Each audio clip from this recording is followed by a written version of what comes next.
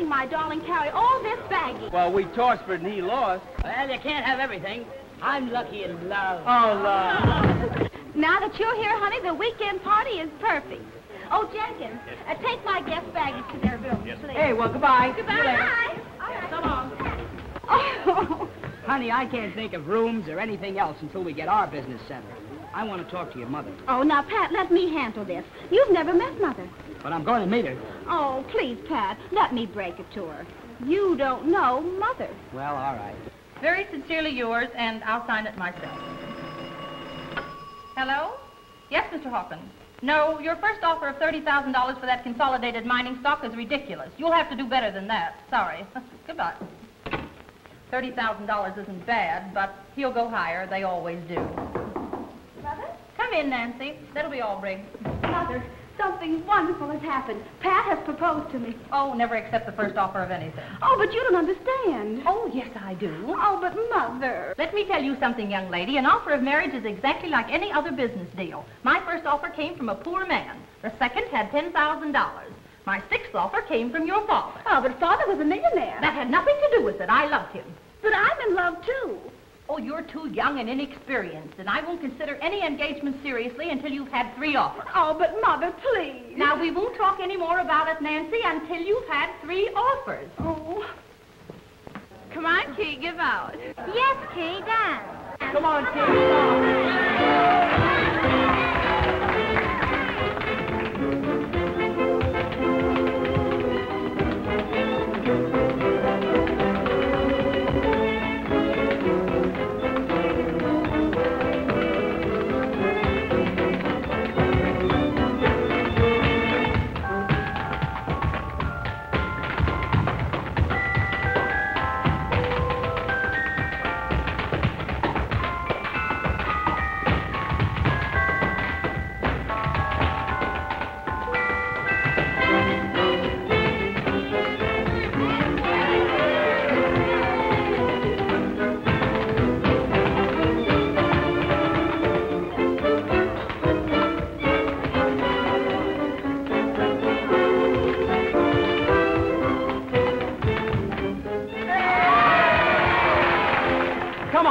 Yourself in the mood. All right, but as soon as Nancy comes back, I want you to announce our engagement. Okay, make an engagement then, huh? Come on,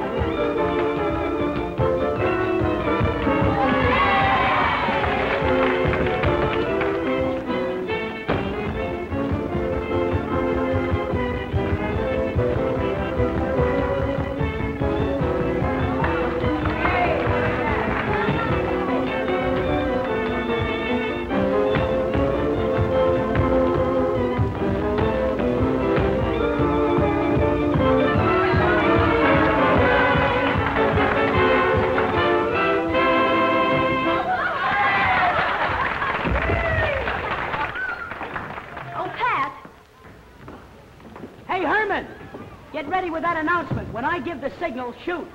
Hold on to your seats, everybody. I've got a very important announcement to make. Oh, darling, it's no use. Mother insisted I have at least three offers of marriage before she'll give her consent. Well, this is one time I wish I was triplets. Oh. Hey, what am I, traffic cop? Take it easy and come up here. Say, Herman, listen. We're in a jam. Nancy's mother won't accept me unless she gets two other proposals first. Well? So you're going to be proposal number one. Oh, no, not me. Think Oh, of Louise. on. Oh, hey, hey, there's proposal number one. Hey, Pinky, come here.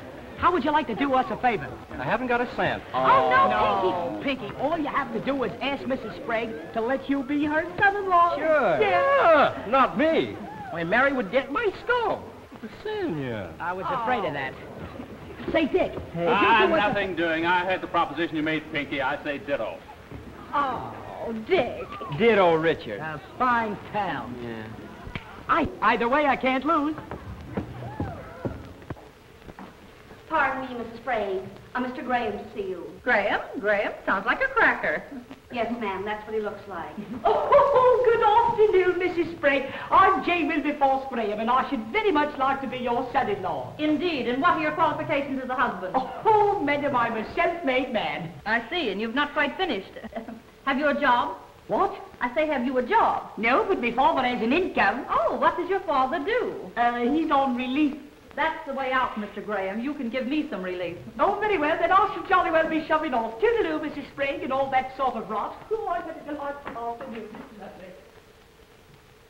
Well, I made good. Well, what happened? Well, you accepted. No, I was definitely turned down, and that takes care of proposal number one. Now for proposal number two. It's up to you, Herman. You've got to tackle her mother. You'll only be offer number two. That's right, Herman. Mother never takes anything under the third offer. But supposing arithmetic is bad and she accepts me. Oh, not a chance. That female cash register, uh, pardon me, dear, counts going to sleep and counts waking up. Female cash register, eh? You want me to stick my neck out just for Madame Jumbo's amusement? Madam Jumbo? Well, the idea. All I want you to do is make the second offer. Herman, I want to marry Pat, even if Mother is unfair. Why don't you help us? Yeah, come on, will you, pal? All right, but heaven help you, Nancy, if you're stuck with me. Mrs. Sprague. Show him in. Yes, ma'am. Mrs. Sprague, my name is Herman White. Sounds like a nice, clean name. Mrs. Sprague, well, uh, briefly, I'd like to marry your daughter. Well, have you a job? No, ma'am. Have you ever had a job? No, ma'am. You see, I suffer from Park Avenue malaria. Oh, what is that? Well, I eat well and I sleep well, but I haven't any desire to work. Well, that's lovely. It'll give you more time to take Nancy out. yeah. Huh? You mean I... Oh, of course, we'll announce the engagement immediately. Oh. oh.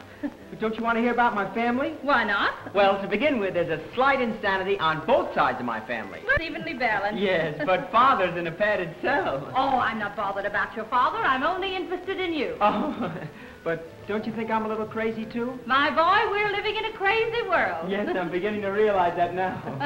now run along and tell Nancy the happy news. She'll be so glad to hear it. Oh. uh-huh. Uh, Mrs. Sprague, Oh, the time Pat, has come. you stop acting like a fox terrier? How can I act like a fox terrier with a pug like this? And besides, I'm rehearsing a Yes, speech. I know. I know all about... Mrs. Oh, Sprague? Herman, Herman, what happened? Yeah, what happened? Nancy, your mother can't count straight. I'm it. What? You mean she accepted you? Accepted me? She harpooned me, hook, line, and sinker. Oh, I don't feel so well. You don't feel so well. No. What about me? Well, why all the gloom? What's up? Well, nothing. Herman just got engaged to Nancy. Engaged to Nancy?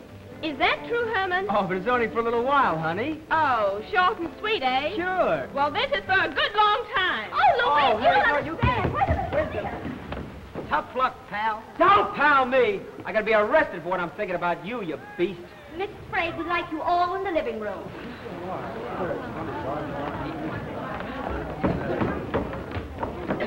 She's about to pronounce the death sentence now. Yeah. Well, go on inside anyway. I'll I'll try and think of something. Well, I hope you do.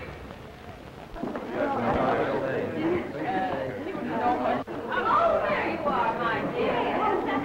Come children, sit down. Make yourselves comfortable. I have something interesting to tell. Children, one of those thrilling, breathless moments that happen so rarely in one's life has suddenly overtaken me. Come, Herman. Come, Nancy, darling. This dear boy has paid my darling daughter a great compliment. He has asked her to become his wife. Oh, you, you... Oh, but Nancy, Nancy. Oh, but what's the matter with her? Oh, Mother. Hello, station XCY. I want to talk to Uncle Snuffy. He's doing his last number with the boys. They'll be off the air in 30 seconds. Hold the line. I'll put Uncle Snuffy on just as soon as he's through. This occasion calls for some entertainment. Let's have some music. Good heavens, what's the matter with you? I forgot to tell you, madam. When I hear music, I lose all control. I feel it coming over me now. Give me room. Oh, yes, yes, give him room.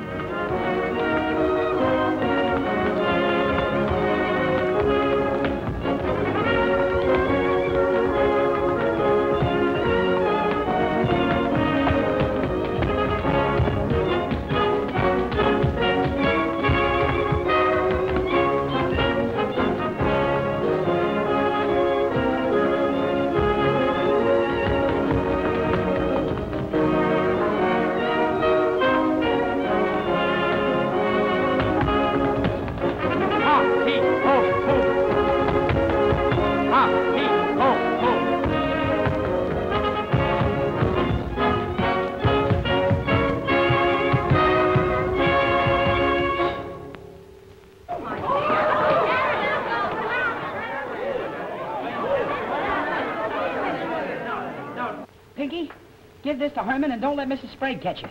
Here, quick. Huh. Run along, children. Herman must be quiet. Why don't you join your friends on the terrace, Nancy? All right, we'll leave him alone for a little while.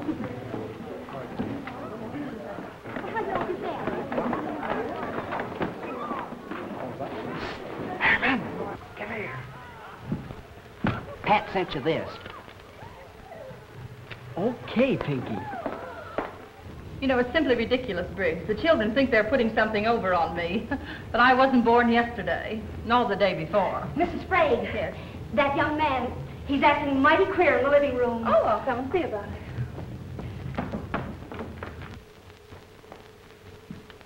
Hello, Ma. Herman, what's the meaning of this? Well, you see, ma'am, seeing as how Nancy and me's going to get hitched, I figured I'd get myself a job of work to support my pride. Well, why this outlandish costume and that ridiculous talk? Well, from now on, I'm a hillbilly. A hillbilly? Yep, my joy Uncle Snuffy and his Ozark melodies. Uncle Snuffy. Sure, I brung 'em with me. Come on in, Jay. Folks, I want you to meet my future ma. Hi, ma'am. Right glad to know you, ma'am. nice little shack you got here. Herman, you must get rid of these dreadful people. Ma, that ain't hospitality. Oh, you know, ma'am, when the young folks get spliced, I'm going to give give 'em that old shack up on the Ozarks for a wedding present. An old shack. Yes, ma'am. It ain't got no running water, but a mighty fine roof when it don't rain. Oh, Nancy'll never agree to this. that's where you're wrong, ma'am. Oh. Nancy'll love it. Oh, Nancy. Hi, Ma. Oh, Nancy, how could you? Oh, Ma,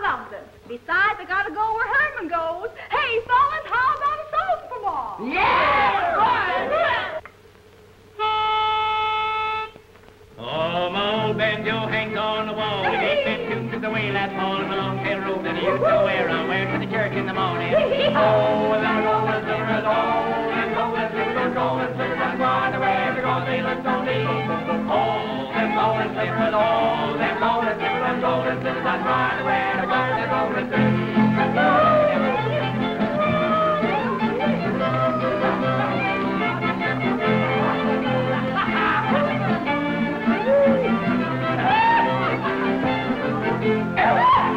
Hey, hey, she's fainted. Oh, Mother. Oh, she's fainted. Pinky, we'll give her just a little bit more punishment. Oh, what happened? She's all right now. Well, that's fine, folks. Let's give the lady another. I ain't gonna listen to no more. Oh, you've got me doing it now. Here she comes, here she comes. Uh, but, uh, Mrs. Sprague, don't you like music? Yes, and no, who are you? I'm the manager of that organization. I want to get my daughter out of this. Mrs. Sprague, I have a contract with your daughter and future son-in-law. I'll give you a thousand dollars for that contract. That's only your first offer, and I never accept the first offer. I'll give you three thousand dollars. You're getting warm. Well, what will you take for it? Not money, but let me make you an offer. What is it? Me. And I'm Nancy's third offer. Oh, don't be ridiculous. You're all wet.